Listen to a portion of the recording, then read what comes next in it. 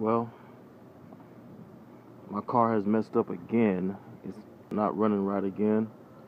And I already had to replace the alternator down there and change out the battery. And uh, honestly, just man, it just it kind of wears on you, and you kind of think, man, you know, you know, it's not unexpected for cars to mess up, but but it just comes to a point like, man, your resources, they feel like they, you know, you just can't keep up with it sometimes. So here's another thing I got to, you know, ask God about and pray about, and it kind of got me down today thinking about it.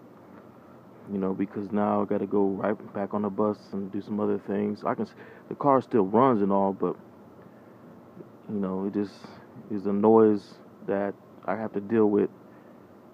But I got to thinking, man, like,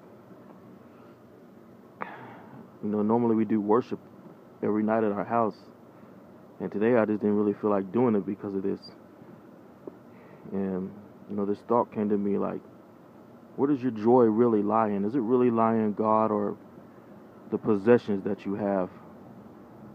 And I got to thinking about that, you know, just because the car is messing up again, it shouldn't control or affect my joy in God.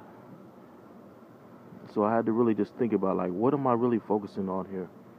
So no matter what I'm gonna have to keep on thanking God and worshiping him and expecting God to deliver this situation into a better situation. So I just want to encourage you guys, just don't give up. Don't put your trust in things and things that don't go right. And really check your focus and see where you really where your joy really comes from.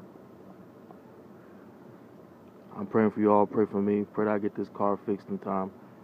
In Jesus' name, thank you so much.